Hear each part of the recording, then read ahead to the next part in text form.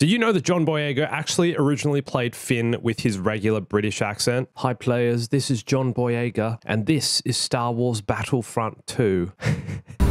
Hi players, this is John Boyega, and this is Star Wars Battlefront 2. However, after watching it back, both himself and J.J. Abrams felt it wasn't right for the character. So John Boyega changed his accent to American, which I think really does fit the humor. I'm also impressed by how good his American accent actually is. At first, I completely thought he was from the US. Maybe he's putting on his British accent the whole time. It's a lie.